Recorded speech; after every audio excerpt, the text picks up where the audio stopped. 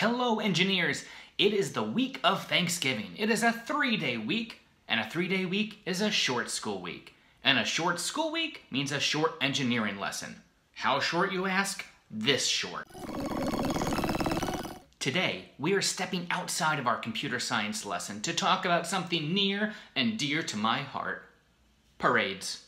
I do love a good parade, but living in New York City, we have the parade of all parades. The Macy's Thanksgiving Day Parade. I love the floats, I love the marching bands, but most of all, I love those balloons.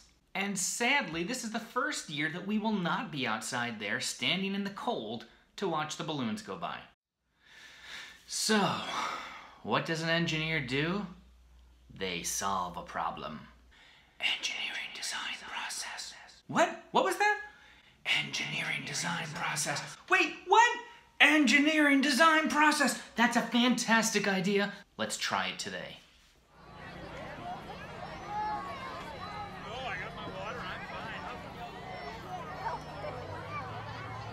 If you remember, step one is to ask great questions. So my first question is, how do they choose which characters become balloons? It seems that the balloons are made based on characters from our favorite books and movies. So step two is to imagine.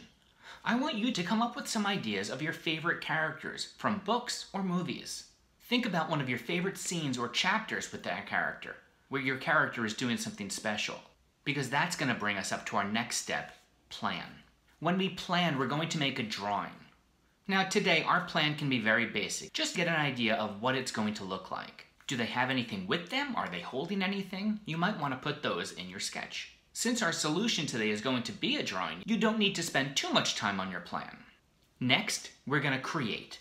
This is when we're going to make our drawing, and I want you to think about using bold colors, bold lines, something to really make your drawing pop. Well, maybe we won't use that word for balloon but I want you to think about something that will really make your drawing stand out.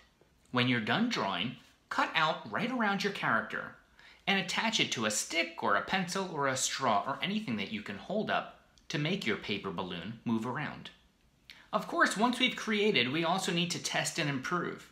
For test and improve today, we really just need to make sure that your balloon's not gonna flop over. If you need to add a second pencil or stick, or if you need to add some extra tape, now's the time to do that. Make sure that it stands up.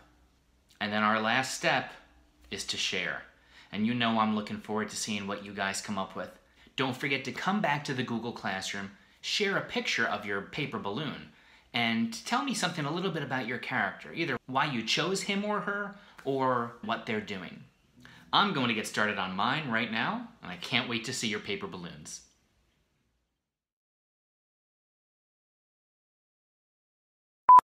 Best parade ever.